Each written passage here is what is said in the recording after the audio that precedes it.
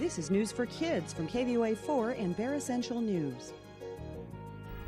There are lots of fun things happening at Tucson Botanical Gardens this summer.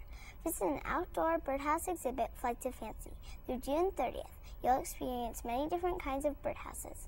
There are ceramic birdhouses, metal birdhouses, painted birdhouses, and many more. Tucson Botanical Gardens is located at 2150 North Alvernon Way. For information about events and exhibits at the gardens, visit the website www.tucsonbotanical.org. This is Claire Hartigan from Manzanita Elementary for Bear Essential News.